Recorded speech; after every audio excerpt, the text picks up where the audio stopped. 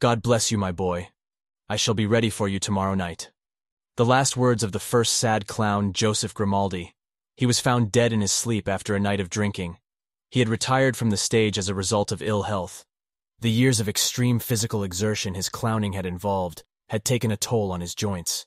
With his body nearly crippled, and his wife Mary, having suffered a stroke days before the death of their alcoholic and troubled son, they made a suicide pact. However, they abandoned the idea as the poison they took only resulted in a long bout of stomach cramps. After Mary died, Grimaldi spent the last few years of his life alone and depressed and an alcoholic. One evening he felt a tightening in the chest, but recuperated enough to attend his local tavern, where he spent a jovial evening entertaining fellow patrons and drinking to excess. Because he had lost the use of his lower extremities, he was carried to and from the tavern by its proprietor. That night after being carried home, he told the poor, helpful soul,